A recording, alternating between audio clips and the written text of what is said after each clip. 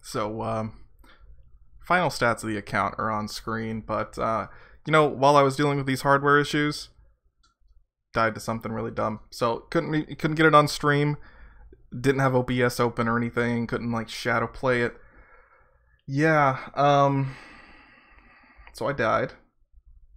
And I don't know.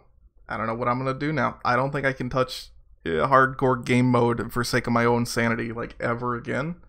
Um, which is unfortunate, I know, because that's where the content is. Uh, I'm thinking if it's possible for me to stream, or maybe I can find a different lender GPU.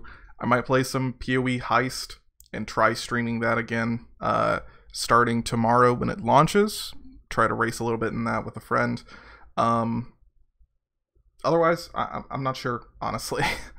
there are a few different things that I have in mind that I would enjoy playing. Some of them, I mean, like old school is in the mix technically, but you know there are other things there. Um, I don't know. Let me let me know your thoughts. I know there aren't going to be many people that uh, that watch this or even watch this all the way to the end, but uh, I I don't really know what to say other than I'm just very sad right now. It happened like an hour ago. And uh yeah. Man, I even got I even got a new pop filter today. I haven't even installed it yet. I was looking to re-improve my video quality as I'm sure you've noticed recently uh, you could hear a little bit more breathing in my videos than you might otherwise like to. And uh, the pop filter would help with that.